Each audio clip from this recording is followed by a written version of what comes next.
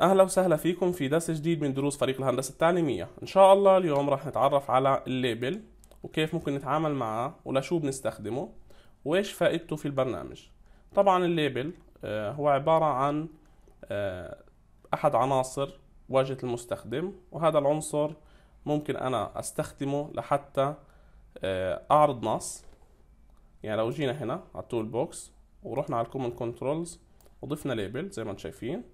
هذا ال label أنا ممكن بكل بساطة أعرض داخله نص أجي هنا على ال text وأكتب النص اللي بدي إياه. This is a text. زي ما أنتم شايفين هذا النص اللي إحنا عرضناه هو نص اللي إحنا كتبناه هنا وهذا بفهم المستخدم آه، كثير شغلات. يعني لو بدي أضيف زر أو بدي أضيف كلام أو بدي أضيف إرشادات للمستخدم ممكن أضيفها من خلاله.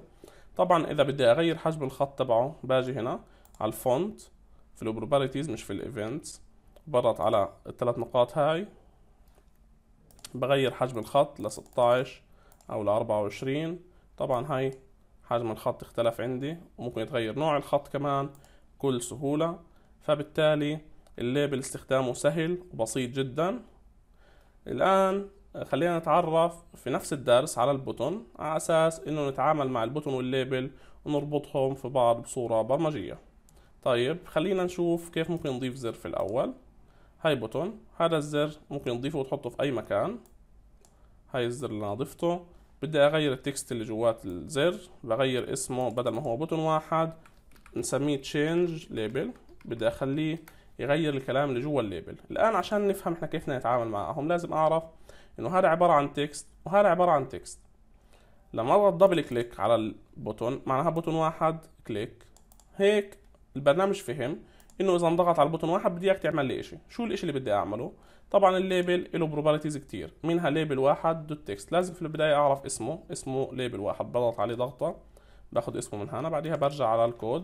بحكي له label واحد dot text هيك هو جاهز يستقبل مني النص اللي بدي إياه ينحط في label واحد.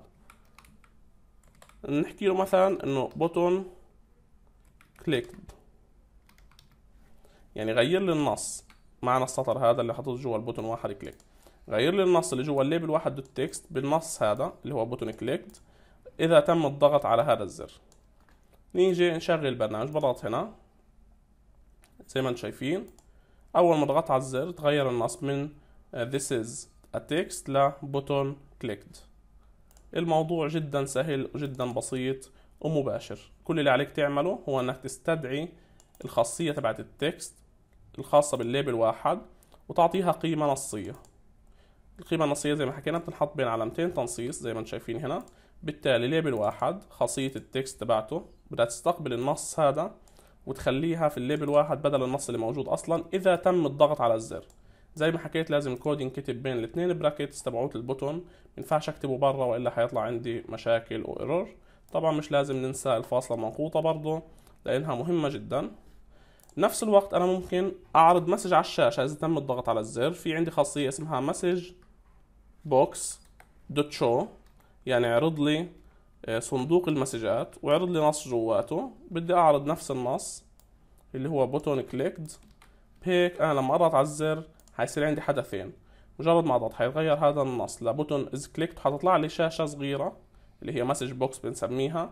معروض فيها إنه تم الضغط على الزر. خلينا نضغط على زي ما شايفين button clicked طلعت لي هذا شاشة ال message اللي هي box مكتوب فيها button clicked بحط okay وبطفي البرنامج. ال message box dot show زي ما حكيت بتعرض معلومات للمستخدم بتنبهه بحاجة معينة فبالتالي التعامل معها جدا سهل وجدا بسيط.